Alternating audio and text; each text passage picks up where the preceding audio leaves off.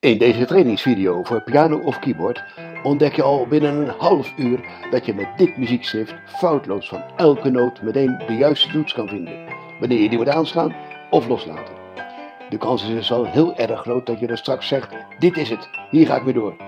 Trek er dan ook een paar uur vooruit om dit te ontdekken en zet nu je tablet op je piano of keyboard en ook jij gaat met dit muziekschrift veel eerder lekker spelen dan je nu gelooft. Super voor de eerste keer. Muziek speel je of uit het hoofd of van noten die op horizontale lijnen staan. En, dat weet je natuurlijk wel, die lees je van links naar rechts. Maar in dit andere muziekschrift lees je de noten van boven naar beneden. Dat is even wennen, maar wel erg praktisch. Want de zwarte lijnen zijn de boventoetsen en de witte toetsen liggen er dus tussen. De twee verticaal gestreepte lijnen laten het midden van het klavier zien voor een snelle oriëntatie. Op en tussen de lijnen staan nu de noten die je moet spelen. Zwarte noten op de boven- en de open noten op de ondertoetsen. En aan de zogenaamde stok zie je met welke hand je de noten het best kunt spelen. Let op, alle noten aan dezelfde stok en die op dezelfde horizontale lijn worden tegelijk gespeeld.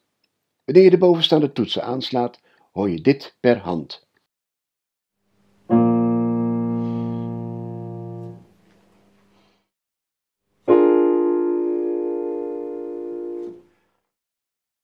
En als je alle toetsen tegelijk aanslaat, dit. Zoek bovenstaande toetsen voor de aardigheid nu eens per hand stuk voor stuk op en sla ze dan per hand tegelijk aan. Natuurlijk is het even zoeken en beginnen we zo meteen echt veel eenvoudiger. Maar geloof me, al binnen een half uur vind je ze foutloos. Nou, het is maar voor de aardigheid, dus lukt het niet echt, geen probleem, maar probeer het eens. We zijn nu al gekomen tot een uiterst belangrijk kenmerk van dit muziekschrift. Elke noot op de notenbalk heeft altijd zijn eigen toets op het klavier. En dat betekent, je kunt je daarin dus nooit meer vergissen. Nooit meer puzzelen, nooit meer twijfelen over de juiste toets. Hoe heerlijk zal dat zijn? Ik ga nu nog snel een paar weetjes door en dan ga je het zelf ontdekken.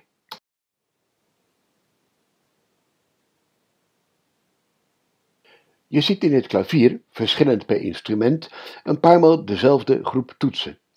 Die hebben wereldwijd dezelfde naam, van één of meer letters.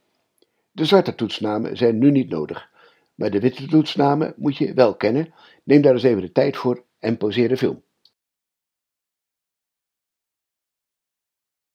De vingers zijn voor het gemak altijd zo genummerd. En de vingerzetting, zo heet dat, staat er in de muziek heel vaak bij. Maar het is een hulpmiddel, geen heilig moeten. Een tip voor je op de toetsen begint. Afhankelijk van het type klavier heb je meer of minder kracht nodig bij de toetsaanslag.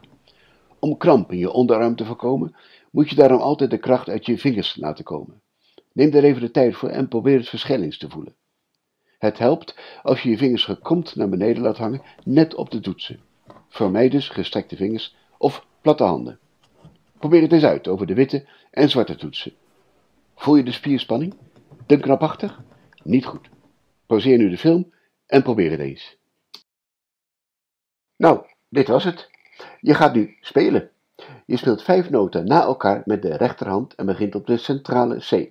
Waar ligt die ook weer? Inderdaad, in het midden en links naast de gestippelde lijnen. Nou, eerst maar even kijken en luisteren naar wat jij hierna gaat doen. Maar neem nooit een voorbeeld van de handstand, want die is alleen bedoeld om je de juiste toetsen in de oefeningen te laten zien. Ik speel dit voorbeeld langzaam nog een keer. Hierna ga je dus tegelijk meedoen en zet daarom alvast de juiste vingers boven de goede toetsen. Het geluid staat zachter. Daarna komt de oefening nogmaals, maar dan zonder geluid. Doe die laatste tot het voor zo'n 80% goed gaat. Nou, daar gaat hij. Succes!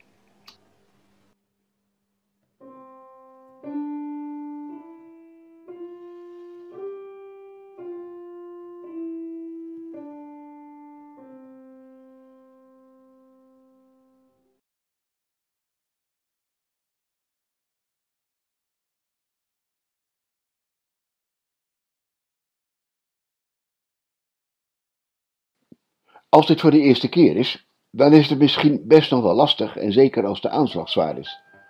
Daar verandert klaver zelf natuurlijk niets aan. Spelroutine, soepele vingers en coördinatie ontwikkel je alleen door het vaker te doen. Speel je al langer, dan stelt deze oefening voor jou misschien niets voor. Maar bedenk dan dat het heel geconcentreerd kijken naar de noten en die langzaam spelen, je hersens aan dit andere notenbeeld doen wennen en overbrengen naar je vingers. Dus wanneer je op de automatische piloot deze noten doet, nou, dan leer je niks van klaver. Doe nu de vorige oefening nogmaals, maar begin nu op de toets D.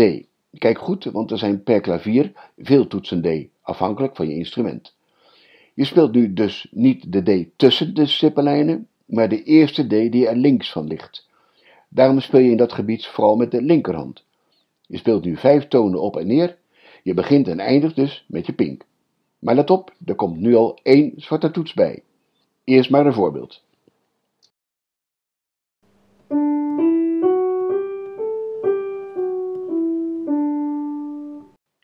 Speel dit nu dus met je linkerhand en probeer een ritmische, regelmatige aanslag. Tenzij anders aangegeven, speel je de noten niet los van, maar aansluitend na elkaar. Gebonden, zo heet dat.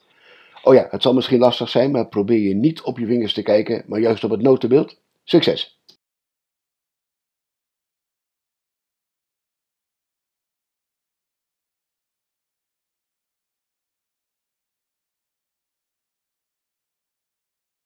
Nogmaals dit loopje in D, maar nu met de rechterhand. Je begint en eindigt nu met de duim en op de centrale D, dus tussen de stippenlijnen.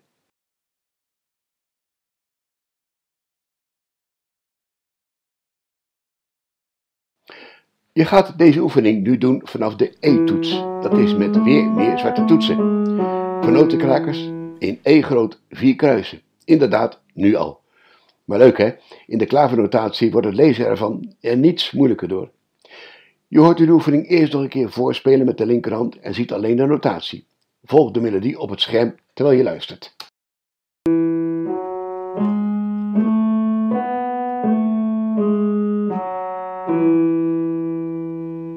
Nu ga je dit zien en horen spelen met notatie.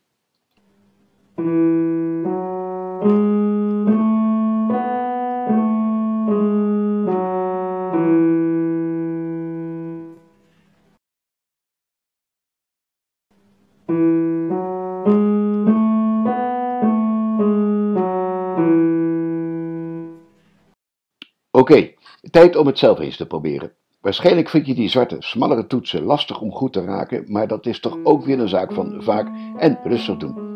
Probeer ook een regelmatige aanslag, waardoor de tonen allemaal ongeveer even luid klinken.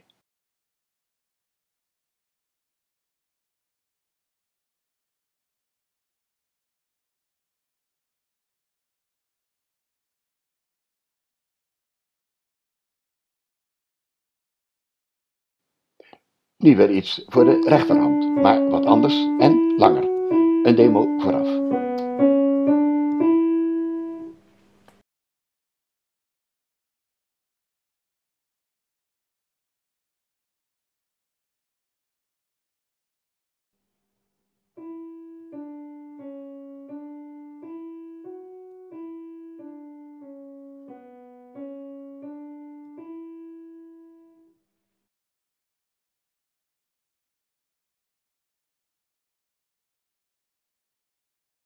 Zo, genoeg verkend op het klavier. We gaan nu korte fragmenten oefenen van het eindresultaat.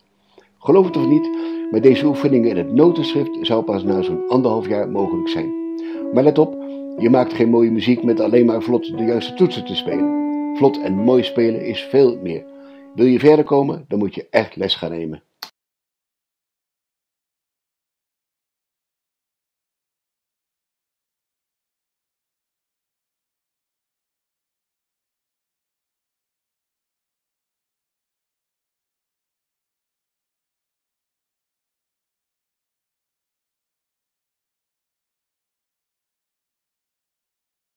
Zoals beloofd, nu de oefening in een hoger tempo. Vergeet de vingerzetting niet.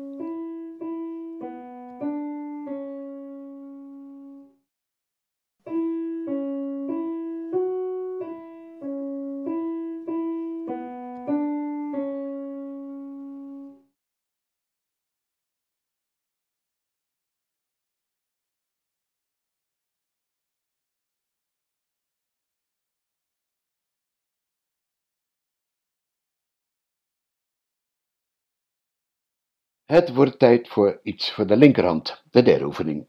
Niet echt moeilijk, maar speel wel regelmatig. Je zal wel gemerkt hebben dat als je de vingerzetting goed volgt, je heel weinig hoeft te verplaatsen.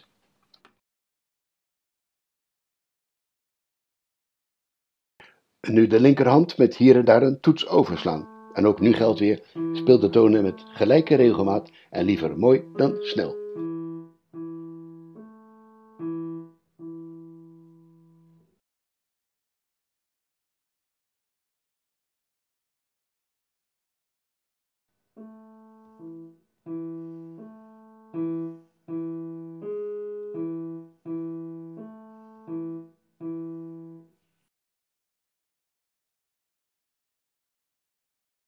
Nu even diep ademhalen. Je gaat namelijk met twee handen tegelijk spelen.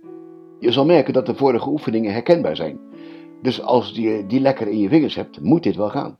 Maar toch lijkt het de eerste keer waarschijnlijk of het helemaal nieuw voor je is.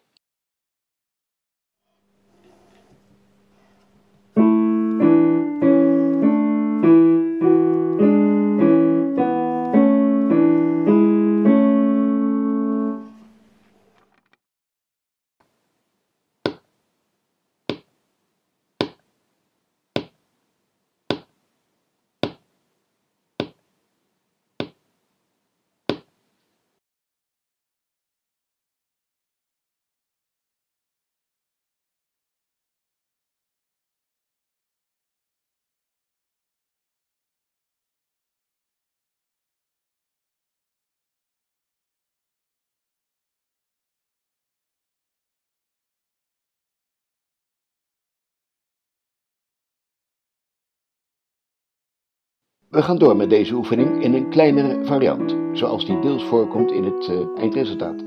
Dus belangrijk.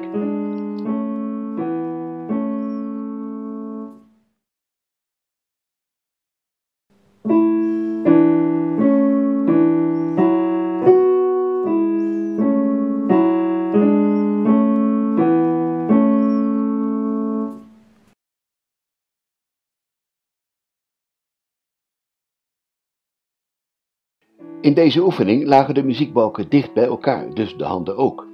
Maar het is vaak heel anders, en dat gaan we nu een beetje doen. Het klinkt daar lager. Kijk en luister eerst.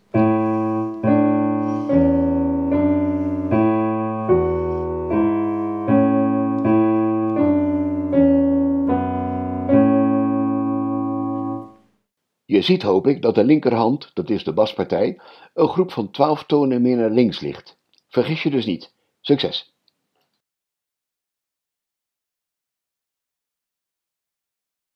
Maar het zijn niet altijd één of twee tonen tegelijk, ook wel meer.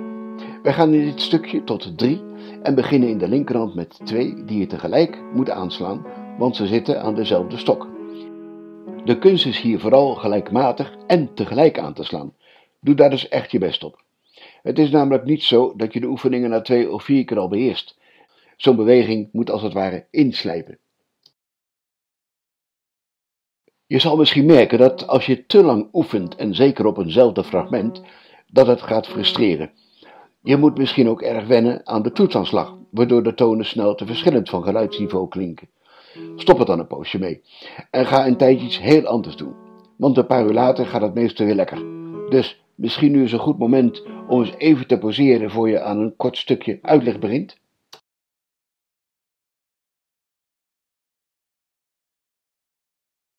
Tot nu toe klonken de noten allemaal even lang, maar dat is natuurlijk ook anders. En hoe zie je dat dan in klaver? Nou, het komt simpel gezegd hierop neer. Zodra en zolang je de noot in de muziek ziet, moet die klinken. En zodra en hoe lang blijkt uit twee simpele tekens. De doorklinkstip en het stopteken. Deze tekens gelden dus alleen voor die ene noot die er recht boven staat.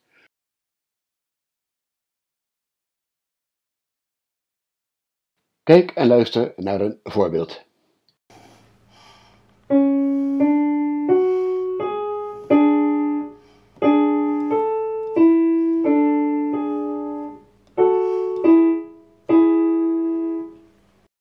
Logisch, hè? Nou, probeer het eh, principe nu letterlijk zelf te pakken te krijgen. En hiermee ken je met de noten nu vrijwel alle tekens die specifiek voor klaver zijn. We gaan nu eens zien hoe klaver de verschillende ritmes aangeeft. Je kent het bekende walsritme wel. 1, 2, 3, 1, 2, 3. Of dit veel voorkomende ritme. 1, 2, 3, 4, 1, 2, 3, 4. Je hoort in feite een aantal tellen. In klaver heet het daarom gewoon een drietels, viertels, een zeven of nou ja, een tigtelsmaat. En klaver geeft al die maatsoorten uiterst precies aan op de volgende manier. Elke maat wordt herkend aan een dikkere doorgetrokken horizontale lijn, waarmee die begint en eindigt. De ruimte daartussen wordt in het gewenste ritme verdeeld met zogenaamde tellijnen. Dat ritme, de tellen dus, staat voor de duidelijkheid ook altijd naast de eerste maat in cijfers en daar waar de maatsoort tussentijds verandert, want dat kan natuurlijk ook. Kijk maar. Hier zie je drie keer een viertelsmaat, die overgaat in de zestelsmaat en dan weer terug gaat naar een viertelsmaat.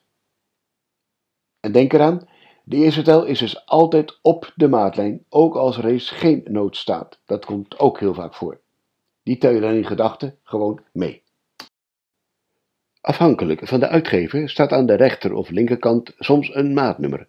Dat zoekt wat makkelijker natuurlijk. Probeer nu eens de viertelsmaat te spelen die op de eerste tel begint op willekeurig welke toets. Er zijn hele, dubbele en halve tellen. Houd de toets vast tot je of de volgende toon of het stopteken ziet. Kijk en luister eerst naar een demo van een viertelsmaat.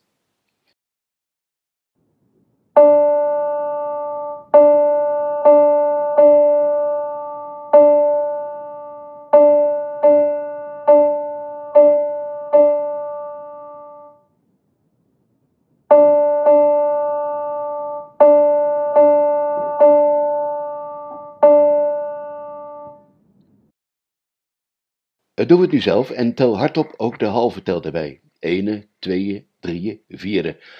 Dat geeft je veel steun. Maar het hoeft niet perfect, want dit ritme komt in het eindresultaat toch niet voor. Belangrijk is dat je het principe begrijpt, want daar gaat het hier om.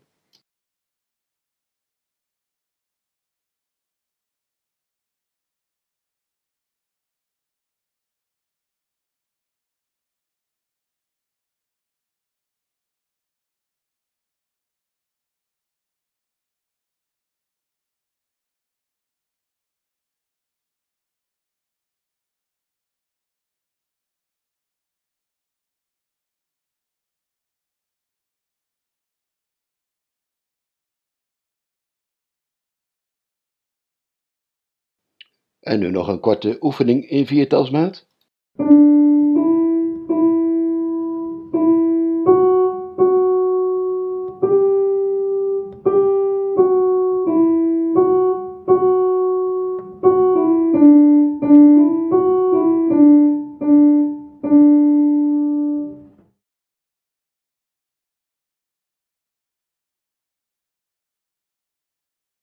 Nu ga je deze oefening uitbreiden met de linkerhand en in een andere toonsoort. Eerst een demo.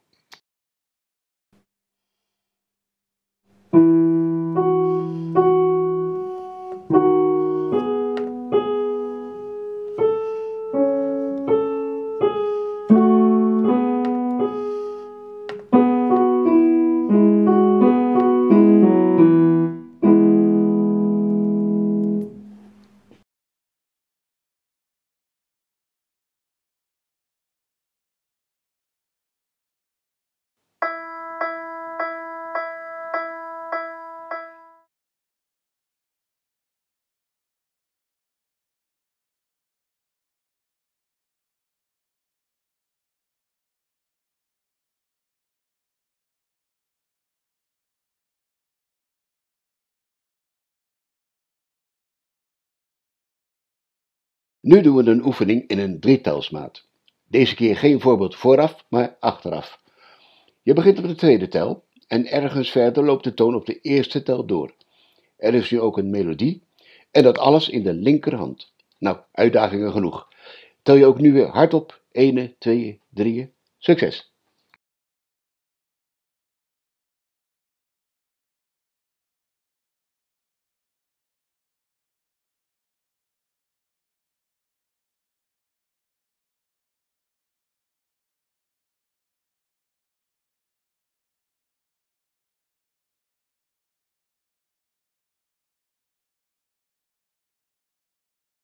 Best lastig, hè?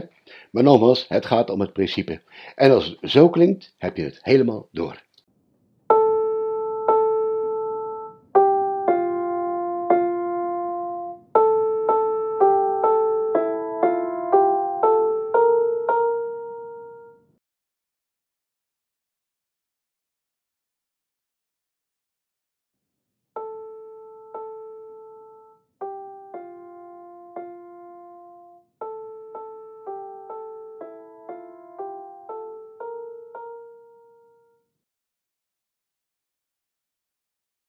Ik heb gezegd dat de eerste tel altijd op de maatstreep is.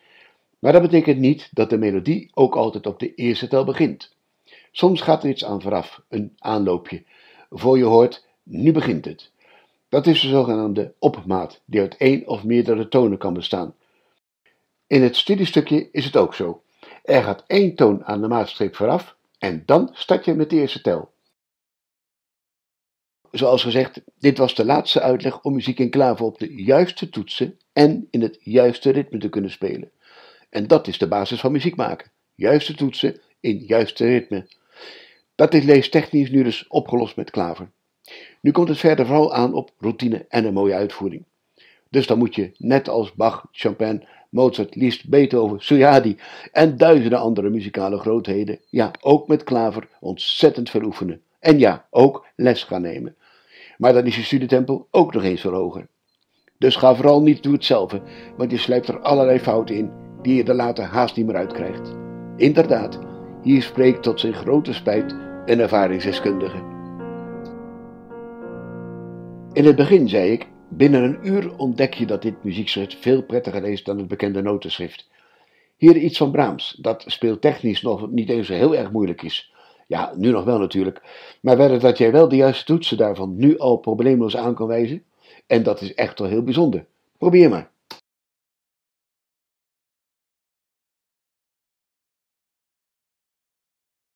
En wie weet kan je deze zelfs al wel een beetje spelen. Want zo heel lastig is die echt nog niet. Negeer de tekens die je nog niet kent en probeer het eens langzaam voor de aardigheid. En? Klonk het ongeveer zo.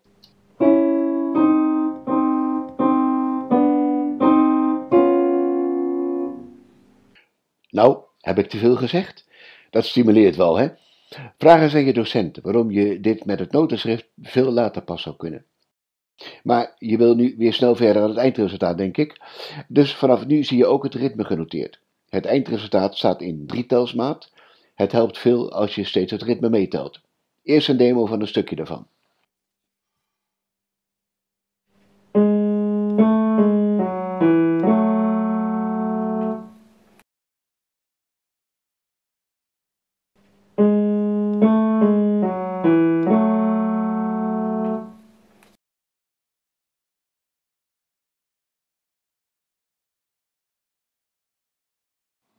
Iets meer uitdaging biedt de oefening met de linkerhand en deels tweestemmig.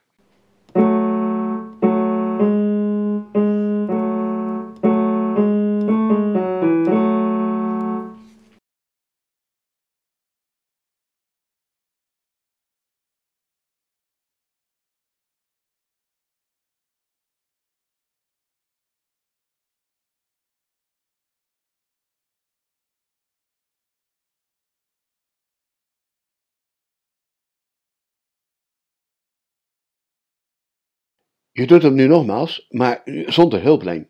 En je bepaalt dus zelf het tempo. Niet te snel overigens, want dan kom je in de knel bij maat 12. Gelukt, mooi. Dan een simpel stukje zonder de demo. Dit kan je nu echt wel zelf. Oefening 12.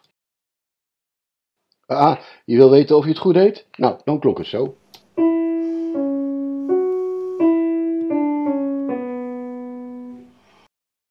We gaan verder, ook niet al te moeilijk, dus probeer het zonder voorbeeld meteen zelf.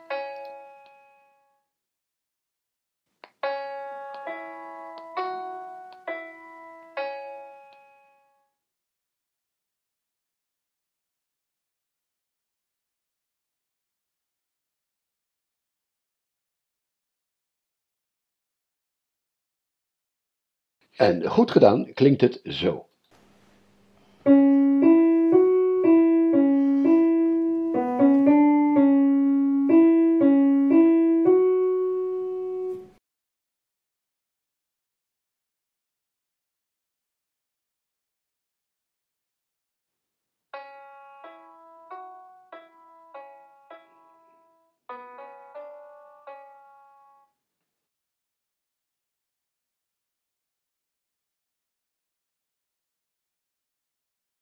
Een stukje voor twee handen van de maten 17 tot en met 21 uit het eindresultaat. Een ietsje anders, maar wel een demo.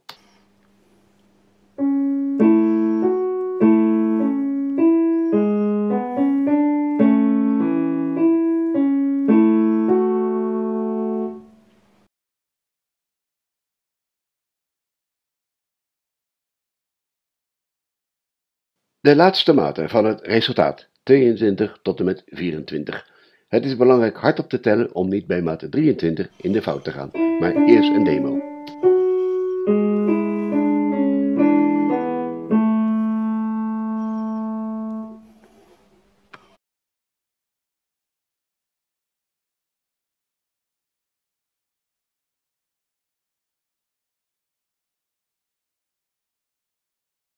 Veel niet tegen, hè? Nu iets leuks voor de linkerhand, maat 15 en 16. Nou ja, als die pink maar niet eigenwijs wordt op de derde tel. Een demo vooraf.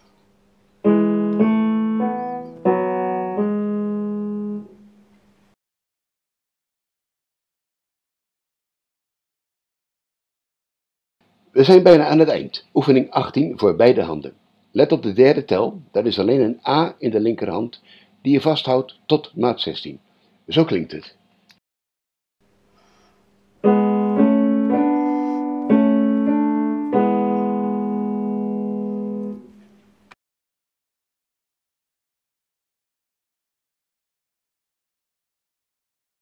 Nu een ritmisch verrassend stukje wat belangrijk is en in het resultaat voorkomt.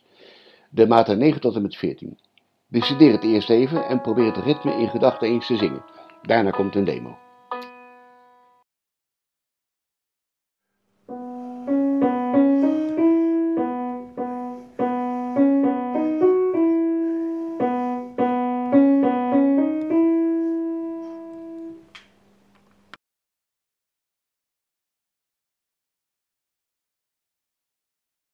De op één na laatste oefening is als de vorige, alleen komt er nu een baspartij bij. Daarom moet je die vorige goed kunnen. Eerst een demo.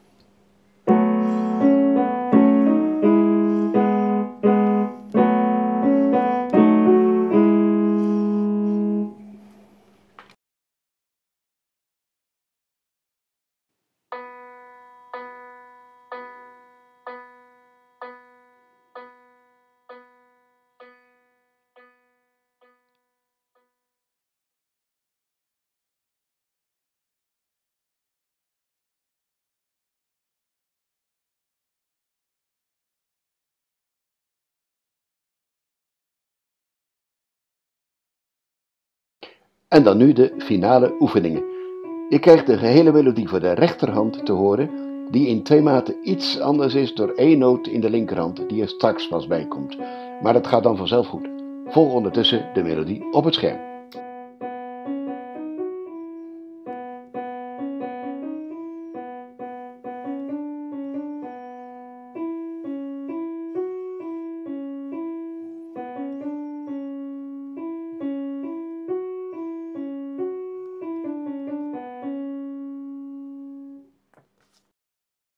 Doe dit nu zo vaak dat het vlot en in het goede ritme gaat. Waarschijnlijk moet je dat wel meer dan een paar keer oefenen. Maar wat geeft het, je bent bijna aan het eind. Stel je in op het langzamere ritme wat je nu hoort.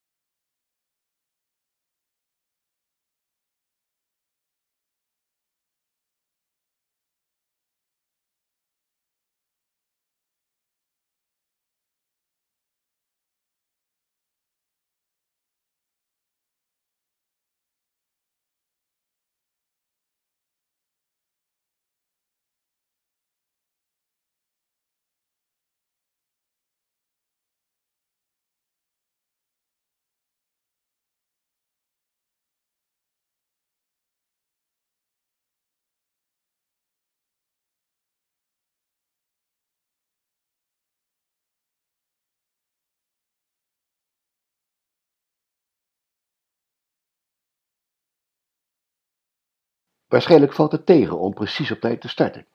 Probeer het een paar maal, want nu komt hetzelfde in een normaal tempo.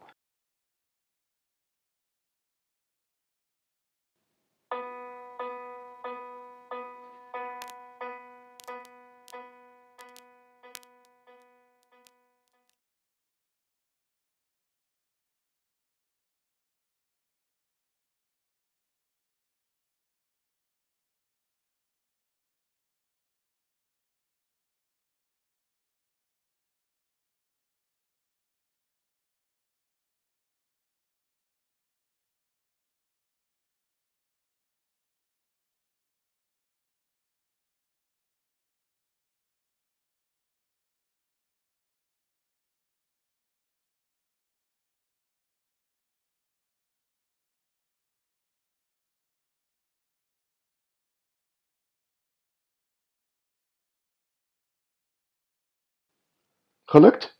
Prachtig, want je gaat nu met klaver het eindresultaat met beide handen spelen. Snel aan de laatste slag dus en verbaas jezelf en anderen met een leuk stukje muziek.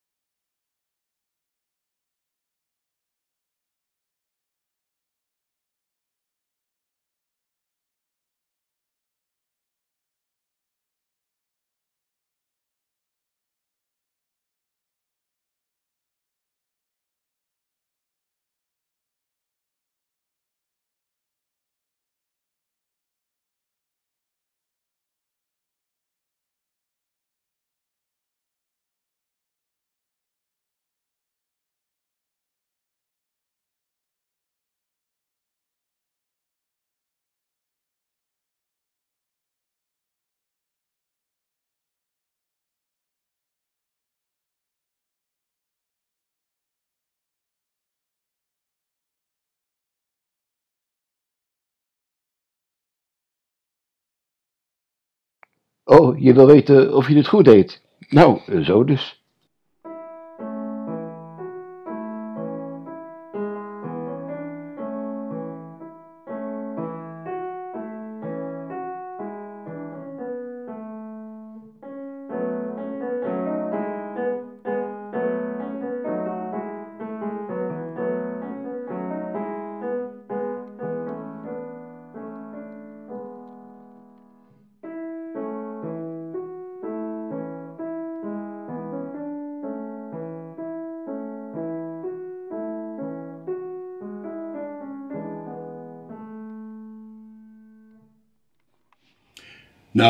Bij jou ook zo klinkt, dan mag je jezelf echt feliciteren, want in het notenschrift zou dit stukje minimaal een jaar geduurd hebben. Dus dit was het. Je speelt van een prettig leesbaar muziekschrift, dat geen enkele concessie doet aan de compositie zelf. En zoek dan dus nu snel een docent die bij jou geen twee jaar leesfouten gaat corrigeren, maar je meteen helpt met waar het om gaat, een prachtige muzikale uitvoering. Beluister ook eens op YouTube andere klaverspelers en word lid van de vele klavergroepen en clubs die er zijn op internet. En bezoek de workshops van de Klaververeniging Nederland. Ontmoet daar medespelers en download klavermuziek of leer die daar zelf over te zetten. Nou, uh, genoeg gepraat. Ik zou het fijn vinden als je nog een reactie wil geven op deze online training in het commentaarvak onder de film. Bedankt alvast. En dan wens ik je nu heel veel plezier met klaver. En wie weet zie, maar nog liever hoor ik je ergens een keer. Nou, tot dan.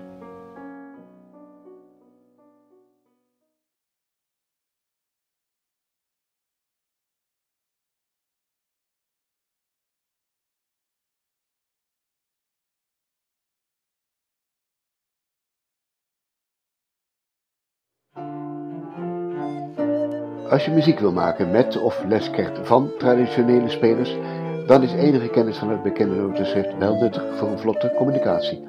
Je zal dan ook meteen merken dat klaver en notenschrift probleemloos samengaan.